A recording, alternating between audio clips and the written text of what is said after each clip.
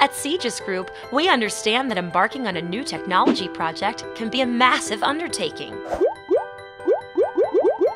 We pride ourselves on building bridges between state and local government agencies and vendors by providing access to over 20 years of research on technology projects. This valuable data, housed in our Premier database, is available to you completely free. Using your free access to the CJIS Group Premier database, you can do all of the following.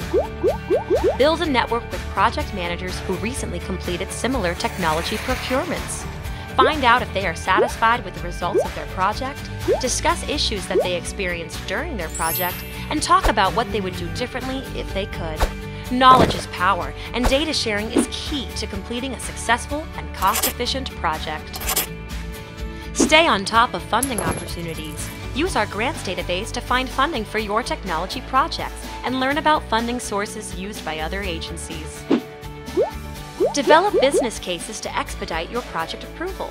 Mining over 20 years of our award data could help develop your business case. You can use our free data to propose anticipated project costs, develop vendor lists, and guide your procurement strategy.